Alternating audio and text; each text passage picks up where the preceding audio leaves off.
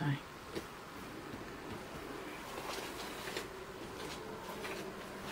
Hi you guys, today I'm going to show you my foil pin art. This foil pin is a glue pin which you write on paper and then like this.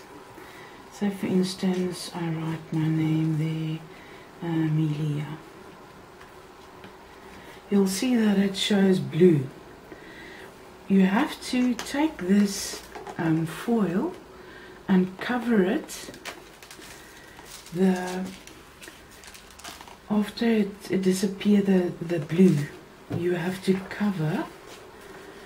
I wrote the Valentine's Day and thank you on the other side of the paper. So I'm going to cut that off to show you these two words that I've already written and I've made and, and it dried already these ones I made a, a thank you card a love a love.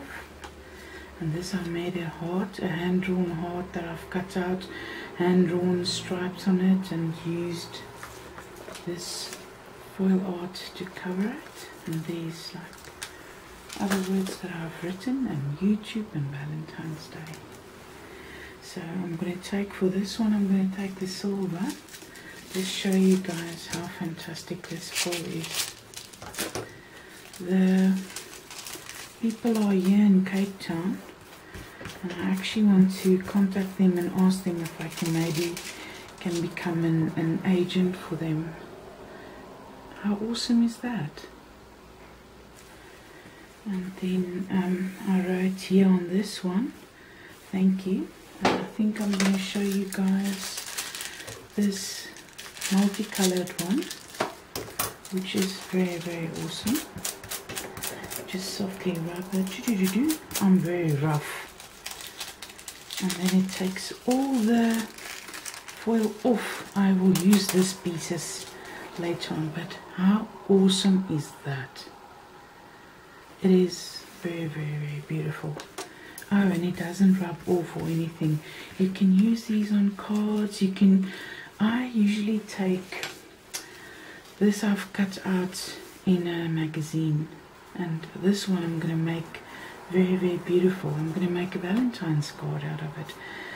Later on I'm going to put like little dots here. And then in silver or red maybe with this multicolored one I'm going to put um, spots on the strawberry to just make it exciting and um, this is a Valentine's card and I wrote on top of the Valentine's card love don't you guys think this is totally awesome?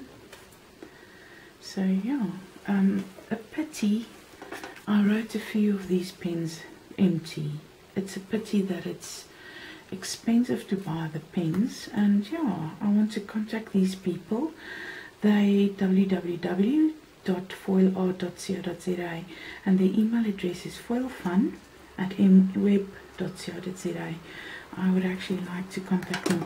Um, if you guys want pins like this, I think this is awesome pins and it's really so easy to use. If you've already used that, you can actually go and there I've written my name again. What I do is I use the small pieces again with all the, um, so you don't have to waste any of your foil pieces that that doesn't have a that's not been used. You can actually just go and um, use the pieces to make things beautiful again. So yeah. I hope you guys enjoyed this um, as much as I did. Bye